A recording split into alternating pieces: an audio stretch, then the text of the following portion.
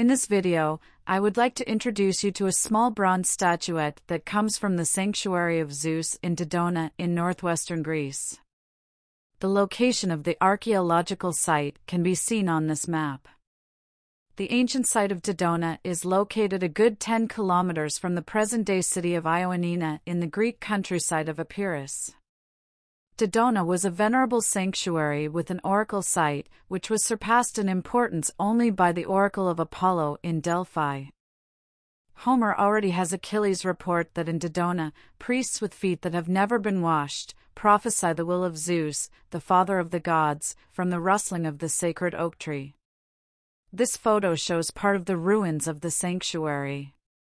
On the left in the picture, the remains of the Temple of Zeus, with an oak tree probably planted in the 1980s.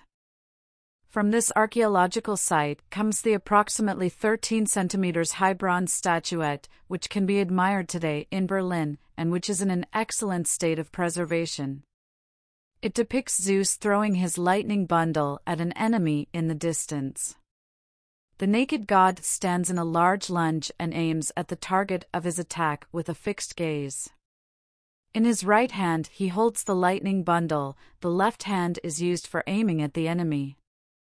Not only the general posture, but also the long beard and the detailed design of the hairstyle are reminiscent of the large bronze statue that was recovered from the Mediterranean Sea near Cape Artemision in 1926.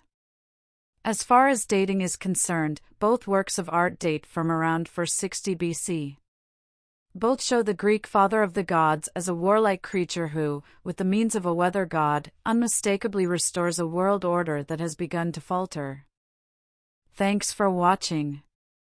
If you enjoyed this video, please subscribe so you won't miss new ones.